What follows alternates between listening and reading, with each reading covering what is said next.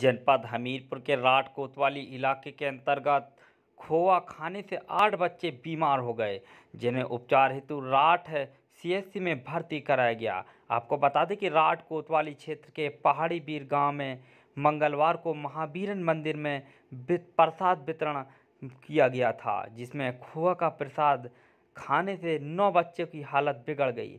Ambulance से सभी को राठ सीएससी में भर्ती कराया गया, जहाँ पर पहाड़ी गाँव निवासी विष्णु कुमार महाराज ने बताया कि मंगलवार को महावीरन मंदिर में हवन कराया गया था। गाँव की ही एक महिला से 300 ग्राम खोआ खरीदा था, जिसमें चीनी मिलाकर प्रसाद के रूप में वितरण किया गया था।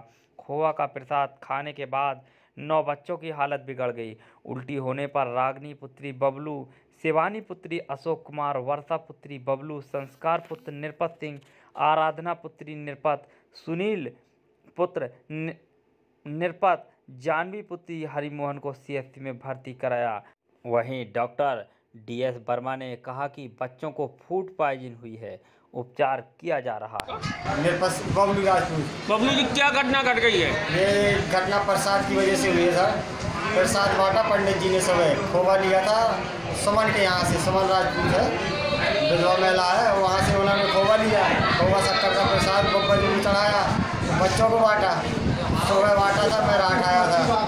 रात आने के बाद मुझे घर से कॉल आई कि बच्चियों को पलटी हो रही है।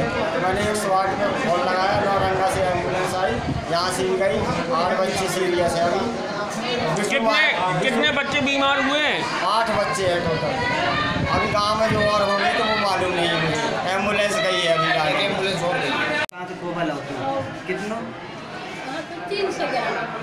तीन सौ ग्राम सौ कितने बच्चे थे? कितने कितने बच्चे?